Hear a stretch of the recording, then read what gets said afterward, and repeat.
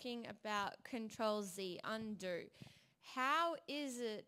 Do you ever wish you could start over, refresh, and um, how we can do that in today's life? So he'll cover. I won't give too much away, but uh, that's what the topic will be today on. Mm. Now, what are some of the exciting um, future plans that we have? Okay, so today might be the last iDiscover lecture or seminar we ha- might have, but we do, this is not the last iDiscover event. Uh, on the way out, don't forget to pick up one of these. It'll appear on the screen behind me in a second. Next week, I believe, we're having the iDiscover Picnic and Sports Day. Um, and I heard you're going to kick someone's butt. Is that correct? yes. Right. So if you like to play a bit of soccer, you want to be on my team, by the way. So yes, you're, you're all very much invited uh, to come along next week. It's going to be a great day, and it's also a good chance to meet others who've dis- uh, attended the iDiscover events to discuss with them any questions you might have, or just discuss any topics in general that you might want to know a little bit more about. Now, before we get Jamie up here to uh, conclude the iDiscover series, there are a few uh, house rules that we need to go through. So just um, like every time, if you could please turn off your mobile phones or switch them to silent, we would appreciate them. If you need anything during the service, just let one of the um, members of the iDiscover team help you out. These sessions are recorded live and they're streamed on www.idiscover.org.au. Uh, if you have been unable to attend any of the iDiscover sessions prior to this, please log on to www.youtube.com backslash fountain in the city TV. There you'll find the full catalogue of uh, uh, lectures and seminars and you'll be able to catch up on anything that you've missed. Uh, we've also got, I don't have one with me, but we've got some question uh, forms. If you have any questions through the series, uh, please held up right there. If you have any questions, please don't forget to fill one of those out and hand them to the ushers on the way out, and your questions, we assure you, will be answered. So without holding back any further, I'd like to welcome Jamie to take us for the final session of iDiscover.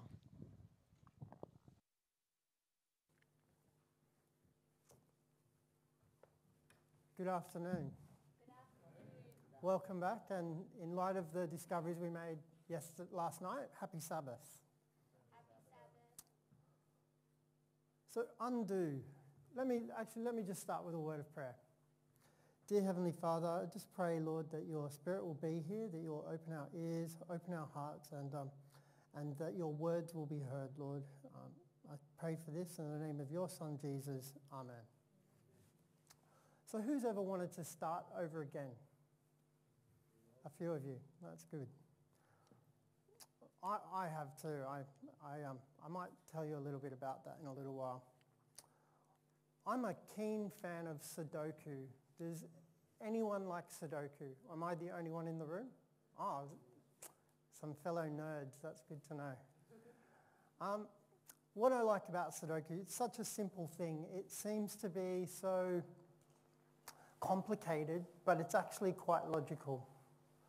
It's, in case you don't know, there's nine lines and nine um, columns and nine boxes and the number one through nine fits once in each box. I've, over the years as I've done Sudoku, it's made me think about a few other things. I know some people when they see it, they see all these numbers and they just think, oh, too much confusion. This is just too confusing. I, I don't want anything to do with it. But um, I think they're thinking about a different game. And, and I think Sudoku is an interesting metaphor for life. You have a vertical line, which for me, as I was thinking about this, would represent our, our spiritual um, relationship with God. You also have a horizontal line, which represents, I guess, in a way, our relationships with each other. And then you have all these individual boxes, which I think you could see as representing maybe the different areas of our life, our, our social lives, our work lives, our, our spiritual lives, all these different parts of our, our lives. And and as we work on each part of our lives, we put them in sync with our vertical and our horizontal aspects of our life, our relationship with God and with others. But one of the things about Sudoku is as you get closer to finishing the puzzle, it can be quite frustrating when right at the end you just go, ah, I've made a mistake somewhere along the line. And sometimes you might not know it until it's at the last, the last number or two and you just think, ah, that's very frustrating.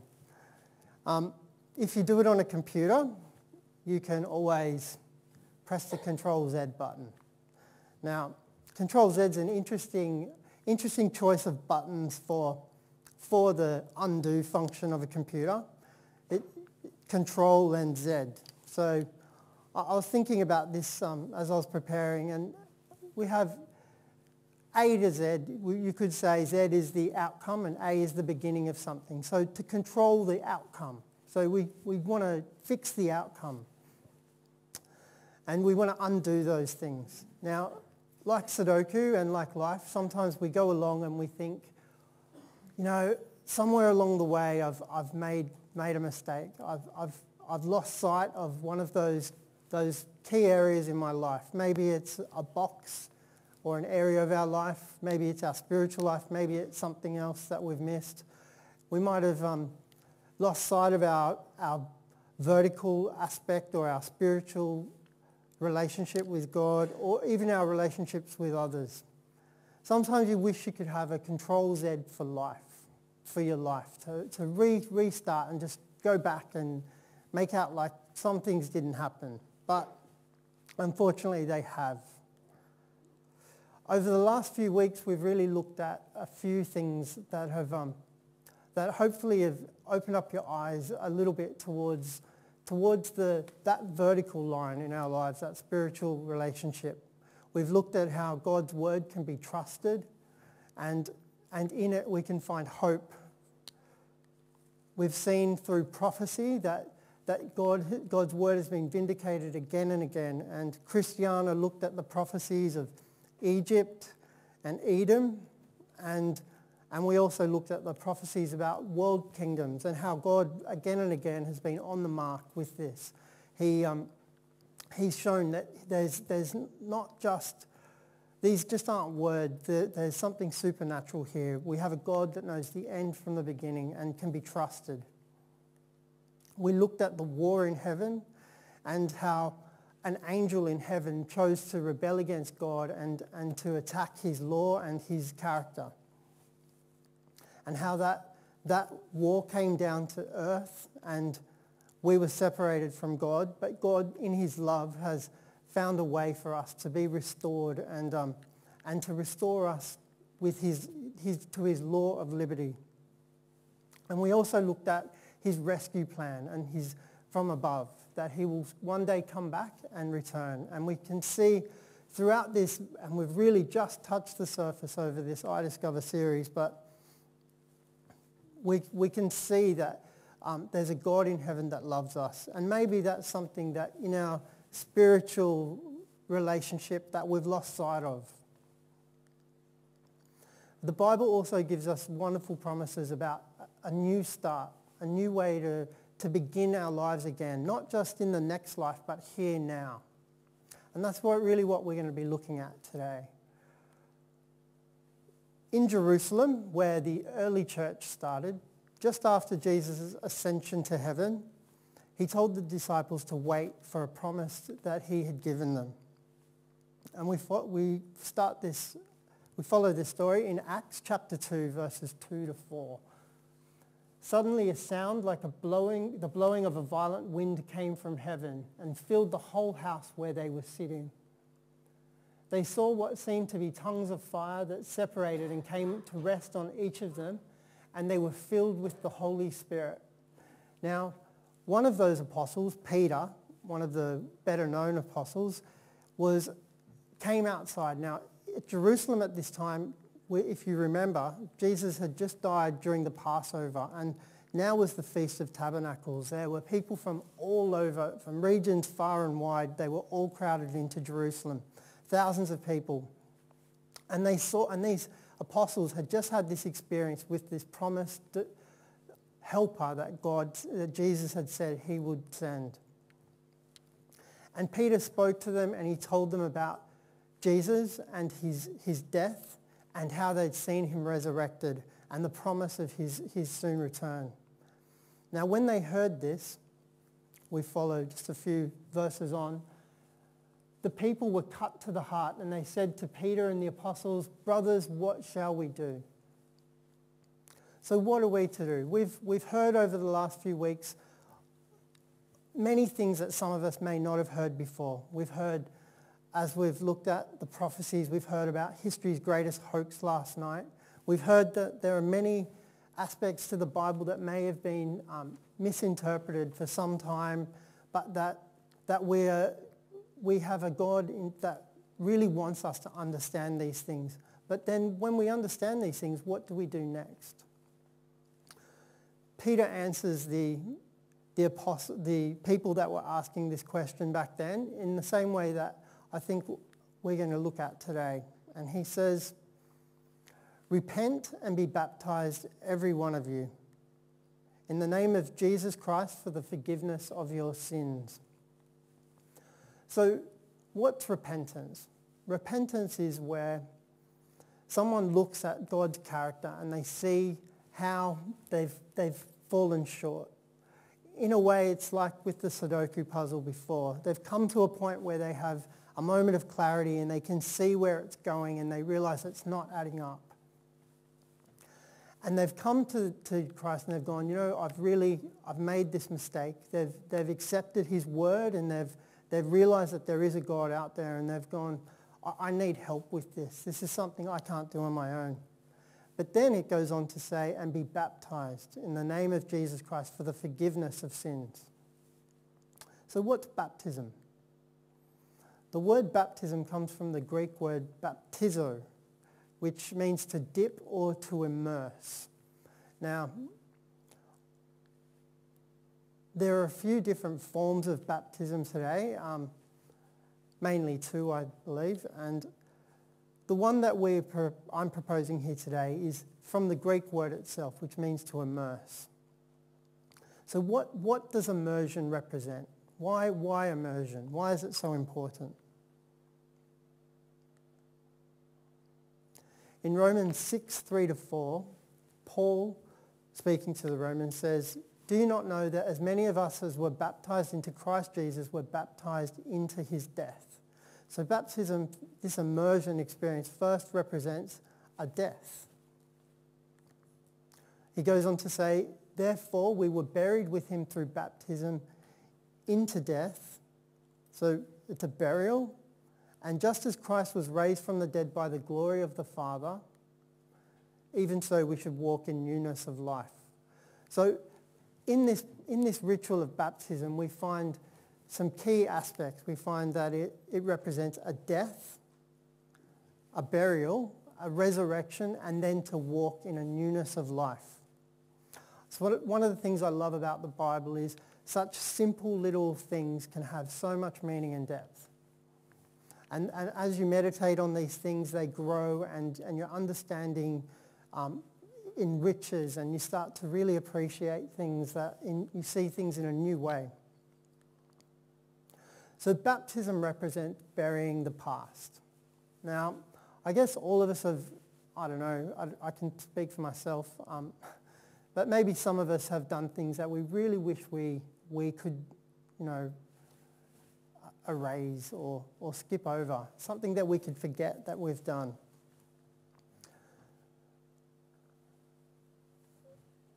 Now, if God can undo our past, does that mean that we don't have consequences for some of our actions? Or does it just mean that God can, he can take on our guilt and our shame and our, our remorse for those things and, and he can take them for himself so that we can, be, we can walk in that newness of life.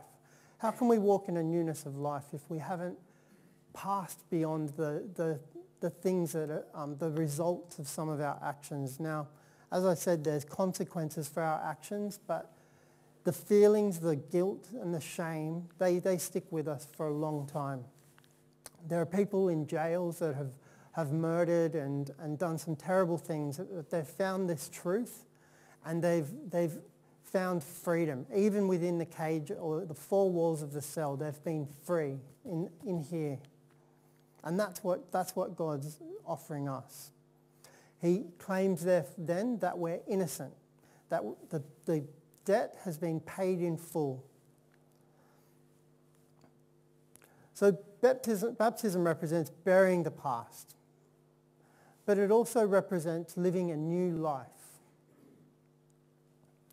So God wants to change our thoughts and our behaviors and he wants to mold our character and our relationships into a new way, something, something different, something unlike the old self. In Galatians 3:27, Paul says, "For as many as of you who were baptized into Christ have put on Christ." Now, what, what does that mean? Sometimes the, the, these are ancient texts and sometimes they use um, turns of phrase that we might not use anymore. But to put on Christ or to put on his, his, um, his gift is, it's similar to, to become, to represent. We put on, he, he represents us and we start to represent him. Now, there's lots of things that people represent in the world. In sports, they will wear the, the jerseys or the, the logos of the the people that have sponsored them. So in a sense, they would represent those people. In, um, as I was doing some internet searches, I looked up the word represent, and you see all these, um, uh, these kids dressing up like um, gangsters in America, and they're all saying, you know, represent. And it's like, what are they representing but, but that old life? But God's offering us something else. He wants us to represent something new, something that the world doesn't hasn't exactly seen in all its, all its fullness yet. But it's something that we hopefully have begin, begun to glimpse over the last few weeks. So now then, we are ambassadors for Christ. So now we, we, we represent Christ into the world, a world that has, has lost sight of these things and, and wears its um, misery as a badge of pride. So we've buried the past and now we can represent, um, baptism represents living a new life, but it also represents this, this other gift that we started this talk with, um, the Holy Spirit.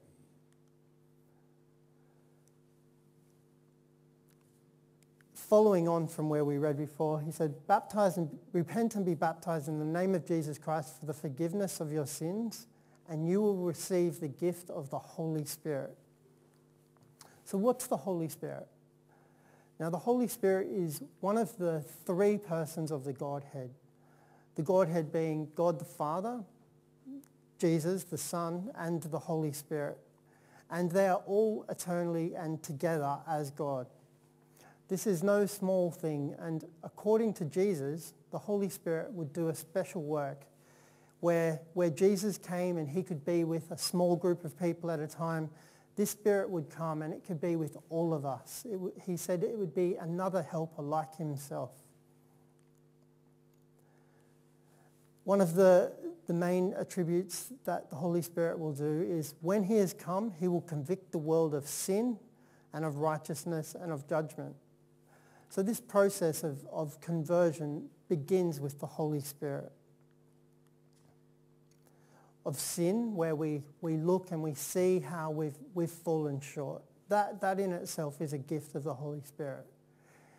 He, he brings to our mind how, how God's righteousness is something um, beyond our reach, in our own capacity to reach, that is, and that we will be judged according to, according to, that, to that breach. But God has given us a gift. He says, I have a way for you to come back. The Holy Spirit will also lead us to that way through the truth. Now, in John 16, 13, it says, When he, the Spirit of truth, has come, he will guide you into all truth. So what, what is this truth? Where do we find it? Well, we don't have to look any further than the same source for all of these answers, the Bible. Your word is truth. So God's word is that truth. If we open up his word as we have been in the last few weeks with this iDiscover series, we can discover that truth, that truth that God who created the heavens and the earth wants to recreate us. So how do we know that we're ready?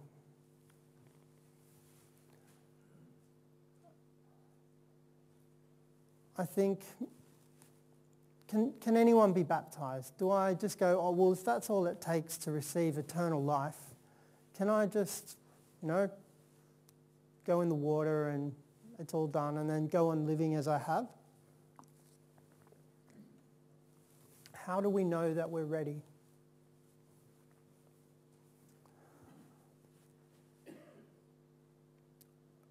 We find an example, the commission from Jesus, who said, Go therefore and make disciples of all nations. This was the, just before he ascended.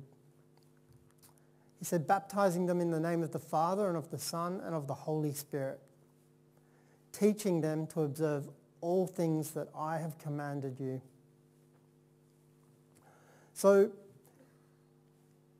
he wants us to, to make disciples. So he wants us to find people that are willing to hear these words, that will be baptized or will, will take on this, this um, new life and they will, will become ambassadors for Christ and then to teach them to observe all things that I've commanded you. Now, if we're not willing to do this, I, I would say that baptism maybe is something that you need to look at a little further on. You need to really experience this love of God. You need for God to, you, want to, you need to want it with all your heart. And then he goes on to say, and lo, I'm with you even to the end of the age. Now that's an amazing promise. So God has promised us that he can restart. He can help us to make that new start. And some of us may have thought, well, I was baptized as a young child. I've, I've made that choice already. But have you made that decision in your heart? Is it something that you've, you've assessed and you've looked at and you've gone, you know, this is what, this is what I want to represent. I'm, I'm sick of all those things in the past that have led me away and have, um, have destroyed my relationships or my, my understanding of God. And, and when we make that decision, we want to we want to show the world.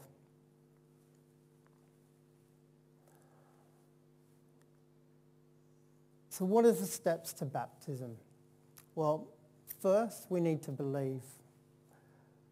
When we read God's word, we at first we may be taken aback. We have all these stories that that span over 2,000, close to 2,000 years, and we, we may be going, what, what's all this about?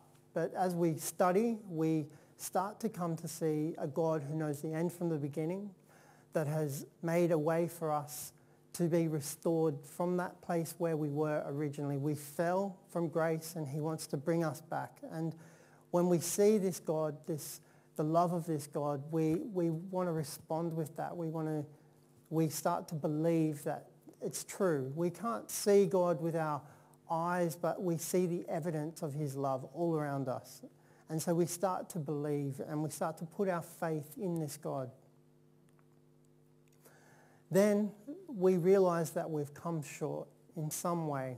We've, we, need to be, we need to pray for forgiveness. We've, we've asked, we've looked at ourselves and we've said, God, you're so righteous and I, I fall so far short, Lord, but um, I, need your, I need your love. I need you to transform my heart. And so we, we ask for repentance. And then we continue to grow. While, while when we get baptized, we don't have all the, the answers. We don't have the, the full the fullness of, of and the depth of God's love, which we can only just glimpse but now. But as we as we grow as a, in our Christian walk, we start to see and our our belief becomes stronger, and we we we have that that sense of, of God's love, that we know that if we confess our sins, he's faithful and just to forgive us our sins. And we will fall, but we continue to grow and we continue to, to reach his standard, to reach out for his standard, and he takes us there.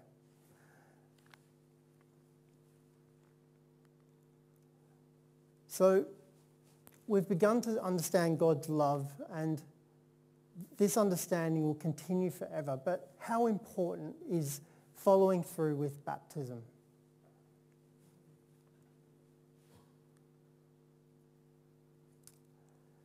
Jesus says to a man named Nicodemus who came to find him in the night when perhaps no one was looking, he said, I tell you the truth, no man can enter the kingdom of God unless he is born of water and the Spirit. So Jesus says that no man can come to the kingdom of God unless he is born of water, unless he is baptized. Now,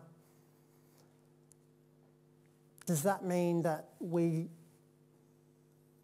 we must be baptized if what happens if something happens on our way to the baptism or we've we've learnt these things and we've started to respond and and um, something terrible happens does that mean is it some legalistic loophole, you know, sorry you didn't go in the water, um, that, that's it. Or I think here Jesus is saying when we've understood this and we've had that rebirth, our understanding of God has changed and, and we, we want to follow him, then we will follow through with this baptism.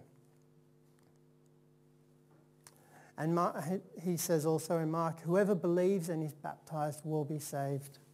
So belief precedes, but baptism, I think, follows belief.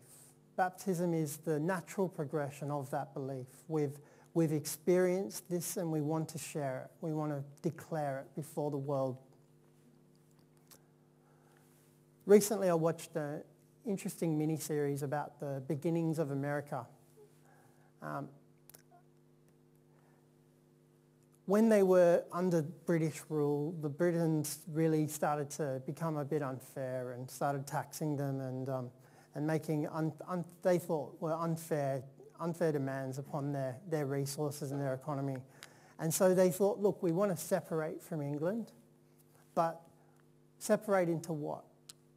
They thought, you know, we can, we can do that, but if we don't have a, code or a, a, something to declare that we now represent, something that we're for, will the world, the, the whole country will turn into anarchy. British rule for that time had kept law and order. Without going into that, they, they got together, the heads of the different, I think there were 13 states at that time, they got together and they thought, okay, what can we do? And um, they they thought about it and um, through Thomas Jefferson, I think he started writing out this declaration, what they stand for, their new, their new thing that they stand for, that they, and it's called the Declaration of Independence. In a similar way, when we, we move on from our past, we can say, well, I'm no longer about that. But we really need to say, what, what are we now for? What do we stand for now? So baptism is a declaration. It says to the world, you know what? Now I stand for this. I stand for God's love. I, I stand for the fact that we've fallen short. I stand for the fact that the old way was no good and it, it led me to on a path that would only lead to death. And, it, and I stand for a God that wants us to come back into his love and to experience his joy and his, the fullness of life now, even in this life. And that takes a commitment.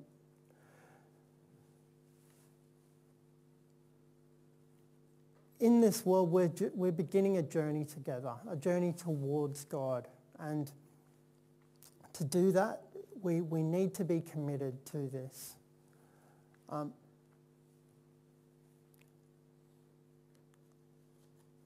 as Christians, we start to follow Jesus' example. We've, we've looked through his word and we've, we've found a, this God of love and his son has, through the life of his son, he's shown us a way, a new way. And we want to follow that example. So we also want to follow that example when it comes to baptism. Now, how was Jesus baptized? It came to pass in those days that Jesus came from Nazareth of Gal- Galilee and was baptized by John in the Jordan.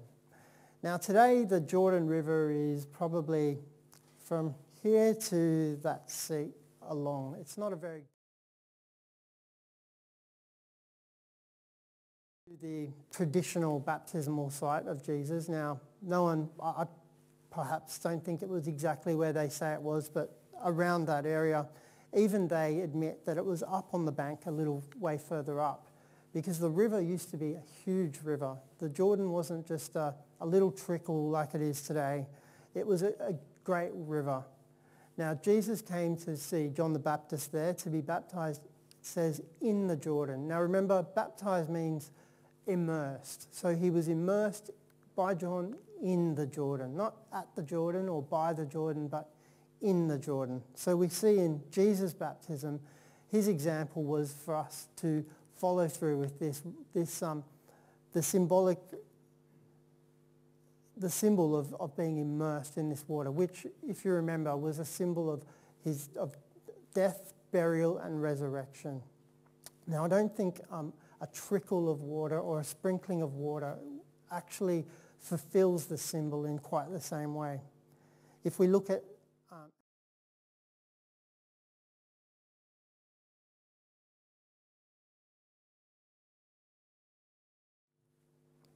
So it's a true symbol of his death, resurrection, and, and when we come out, we, we don't stay under the water, we come out into a new life.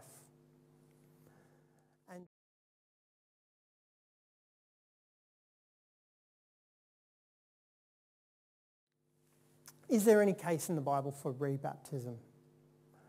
Um, some of you may have been baptized. You may have, at one time in your life, seen the love of God and you may have, you know, taken it maybe loosely for a while or you, you had a glimpse of it and you were baptized but you've fallen away. Perhaps some of you have, um, have learnt new things that you might want to, that, that have reinvigorated your understanding and deepened your understanding of what God's love means and, and the, the depth of what that commitment represents. In the Bible, we find an example.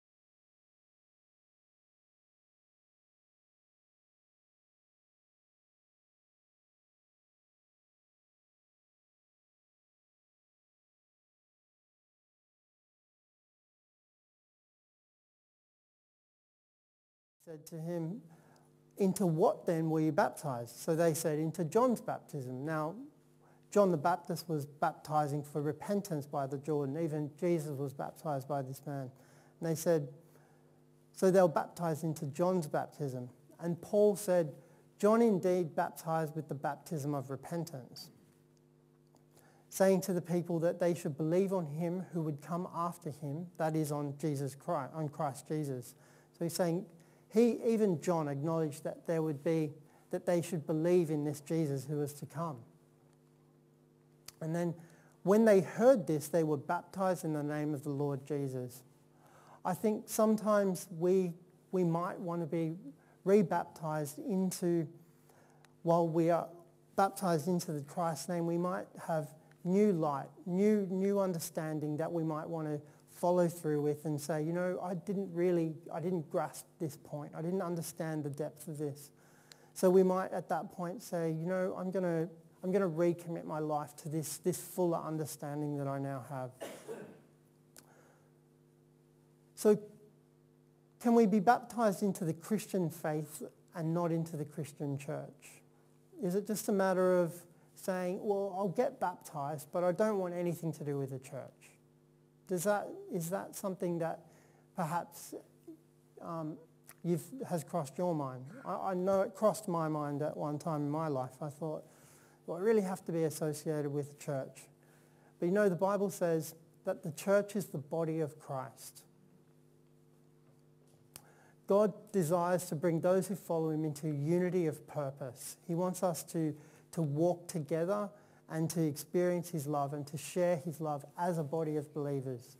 Now, my experience of the church has, has has changed as well over the years. You know, there was a time when I wouldn't be caught dead in a church. and um, I, um, and the, I thought, you know, I don't get along with people there. And, um, but, you know, over the years I've found that the church is a place where real unity happens. Where else do you find a bunch of people with completely different walks of life, different backgrounds, different goals and aspirations sometimes, different ways, diff- from different places, all coming together but serving the same purpose and seeking the same God. I find the church a blessing. The body of Christ is a place where when we're baptized, we're baptized into this body, into this new body. As I said, we read earlier, we're baptized into Christ and we're baptized into this church. But then comes the question, which church?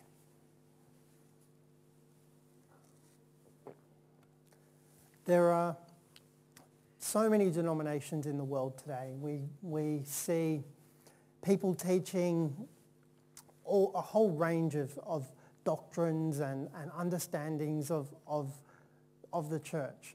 Recently around Sydney, have you seen these posters, Happy Science?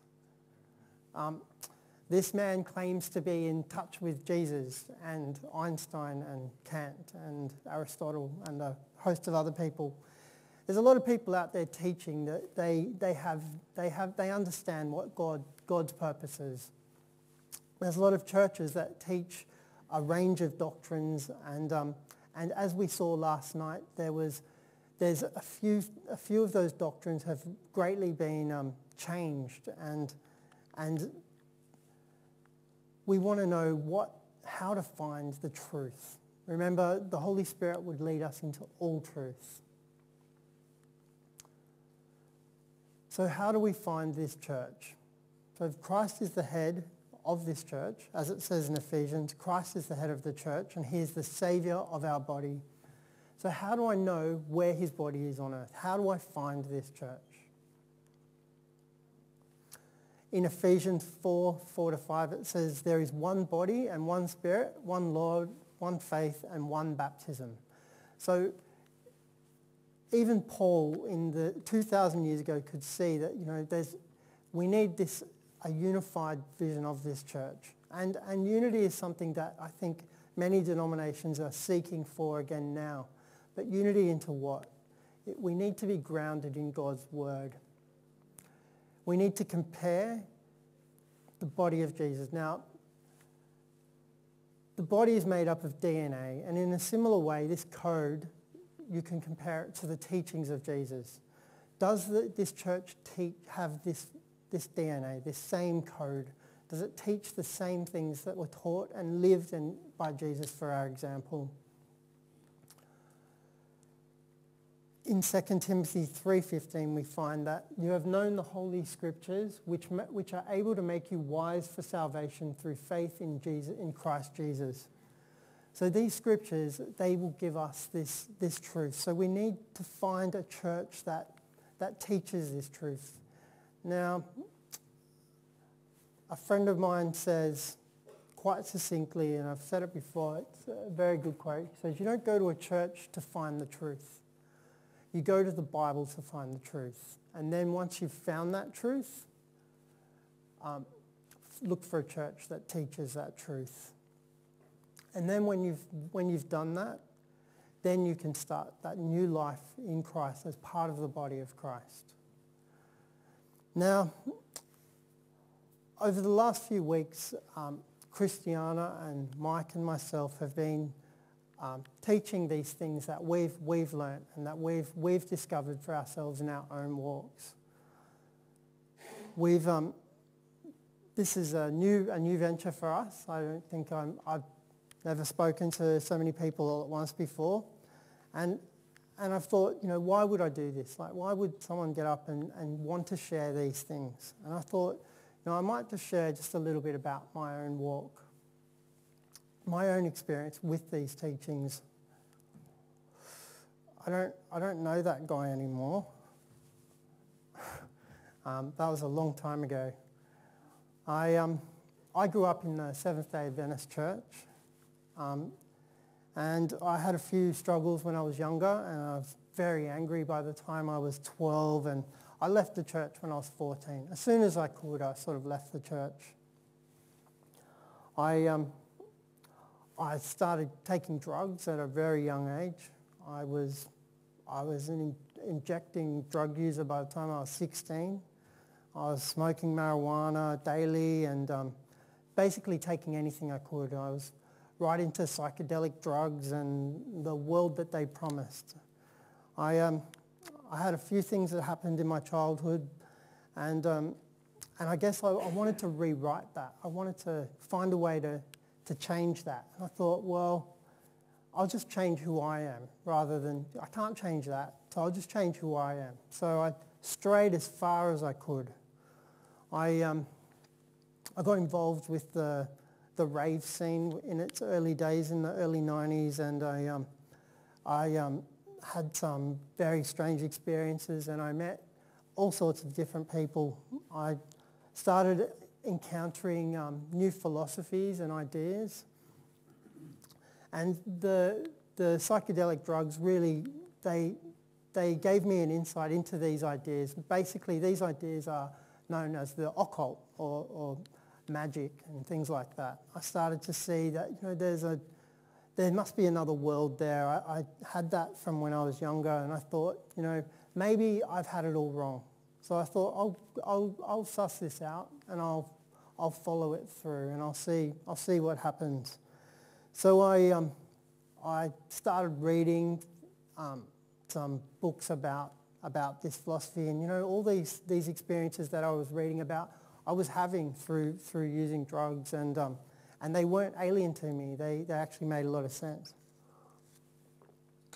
And they promised that I could, I could reprogram my brain, basically. I could reprogram who I was and, um, and I didn't need God. I could do this on my own. Um, by the time I was 23, I, two of my close friends had died of heroin overdoses. I, um, I was using heroin by the time I was 17. I, um, I was going to parties I just several days a week. I was, I was taking amphetamines and I was staying awake for up to a week or more at a time. Um, and all the way through it, I started learning these new ideas and, um, and then after several years, I, I was fairly well versed in, in occult doctrines and, and um, ideas, and, and, I was practicing it. It seemed so innocent. Um, today you hear about the secret. It's basically exactly the same philosophy that, that it's just about some you know, random impersonal thing that you can, you can control and that it, it does your will. But I got to a point where, you know, after seeing so many more, uh, more friends of mine had died, really close friends, and, um, and they, their lives were cut tragically short. And I, um, I started, you know, thinking, you know, this, this isn't as fun as it used to be. It was actually quite a, you know, quite a pain. I was committing crimes to pay for drugs, and I, um,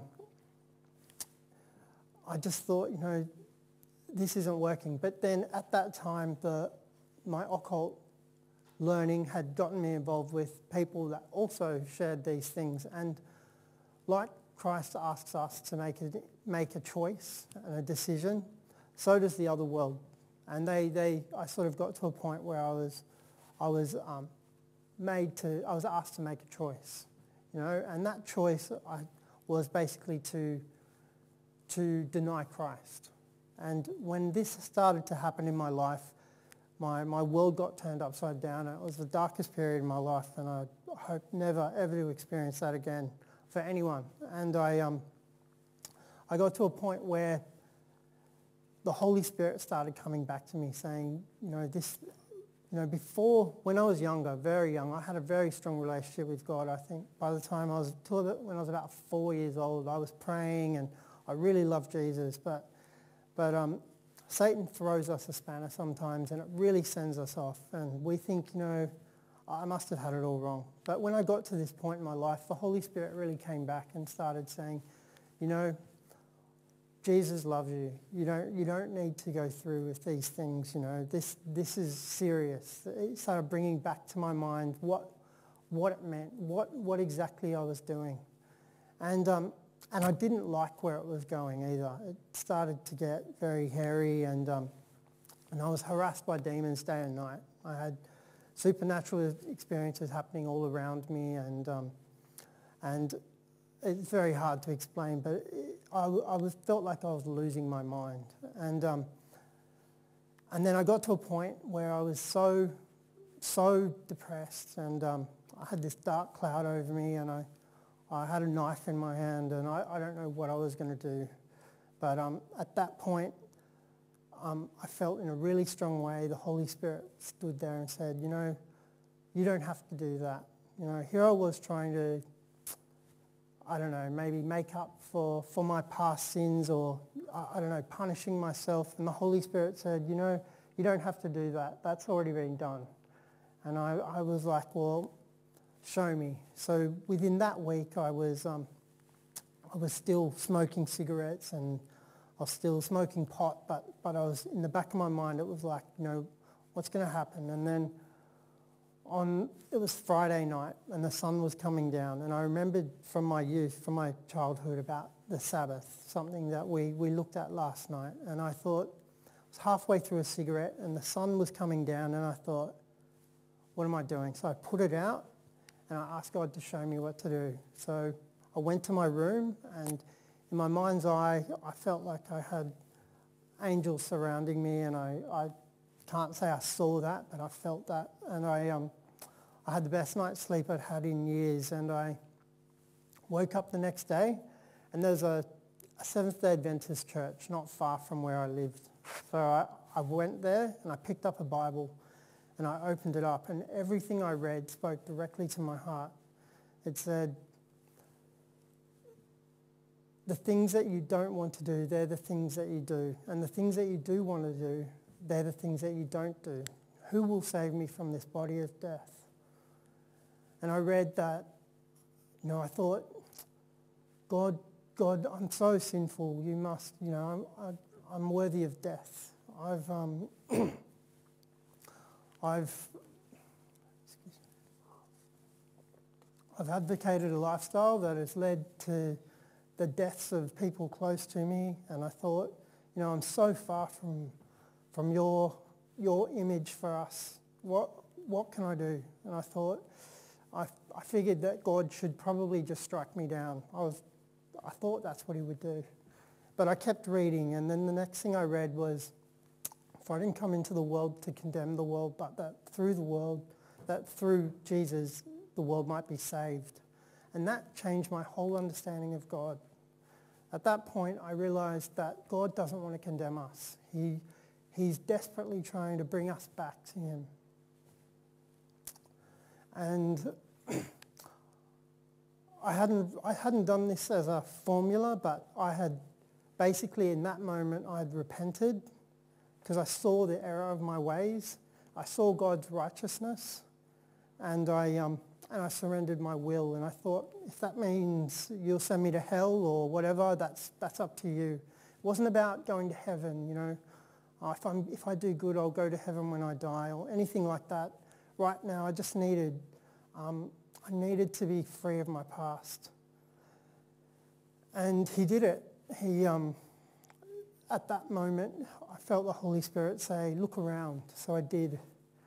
And what, you know, with, with the occult ideas, I was, everything was a symbol of death. All of a sudden, I was surrounded by death, it seemed like. And, um, and I looked around and all of a sudden that was gone. And I was like, something's happened and I couldn't put my finger on it. So I went home and I, um, I stayed there and I was thinking, you know, I, feel silence, silence, you know, in my, in my heart, which is something I hadn't had for a long time. and then my flatmates came home and they said, uh, where have you been today? And I said, oh, I went, I went to a church and they just sort of rolled their eyes and I said, I said, I gave my heart to Jesus Christ and they were, they couldn't believe it. I, um, I, at that moment though, I felt this flooding joy into my heart. And um, it was indescribable. I, I, felt free. And, um, and it was everything I was looking for in my life. I, um, I really, really want that to share with everyone, that you can have that experience, that there is a God out there who loves you. He loves you with all his heart. He, um, he's doing, doing everything he can to bring you back. He, he knows what, where you've been. He knows why you've been there.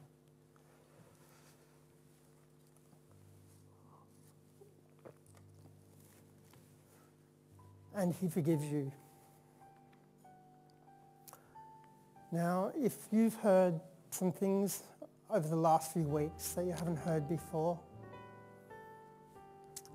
and your heart's been hearing and um, responding to these things and you've thought, you know, there is, there is something out there that makes so much more sense. There's something, I don't want this misery in my life anymore, that God's, God's law, his, his law of liberty has set me free and I want it to set me free. I want to, to repent and be, be a representative of Christ. If you have thought that um, know, that there's, that there's too much at stake, that it's a lot to give up to change your heart, to change, to change your lifestyle. If you've thought that, that, um, that it's just, it's too much, well, I just want to tell you that it's not enough. The world can't offer you anything compared to what Christ has offered you.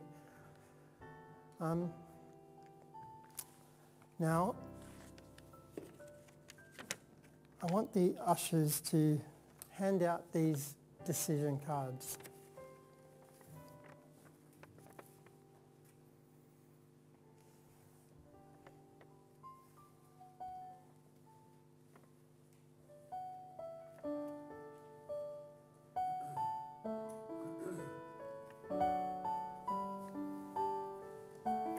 Now for me, I haven't looked back.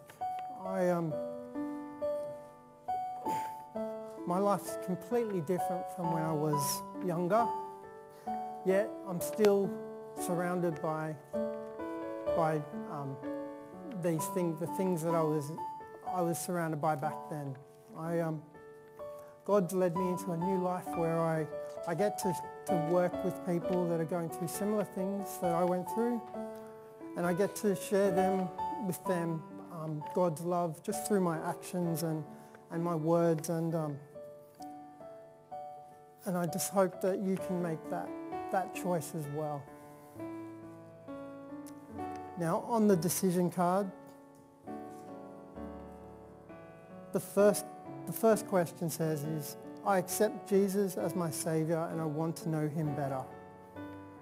Now if you have, have never thought of this before or if you've um, just starting to learn about Jesus and, and you want that kind of influence in your life, I just ask you to tick that box there. Now some of you may have learnt, um, have been learning and on this journey for some time and you may have learnt some new things that have really brought home to you the fact that God God really wants you in his kingdom. He wants you to be part of his, the body of Christ and to be, to be a new person if you tick that second box it says, I appreciate what Jesus has done for me and I want to start a new life for him by being baptized. It's my prayer that, um, that if, if you have caught a glimpse of Jesus, that, that, that you would want that for your life, that you can experience a new life in him. And finally, the last point is I have some questions and I want someone to visit me. Perhaps you've just started to investigate these things and, um, and you'd like to know more, that's perfectly all right. And we'd be happy to come visit you and to share in depth more of these, more of these truths that we've found that have transformed our lives. I know there's many people in this room that have experienced this love and this, this transformation in their own lives and, um, and And any one of us would be glad to share that as ambassadors of Christ.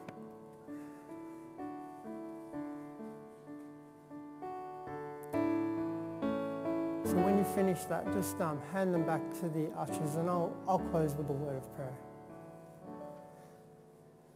Dear Heavenly Father, thank you so much, Lord, for what you do for us in our lives. Um, I'm eternally grateful for what you've done in my life and, and I, I just want to share that with others, Lord. I want the world to know the peace that you can bring and um, that they can be freed from the mistakes of the past or um, even just their misconceptions about you, that you can transform them, Lord, so they can have a clearer picture of you, something that, that gives them a new reason for living, meaning and purpose in their lives.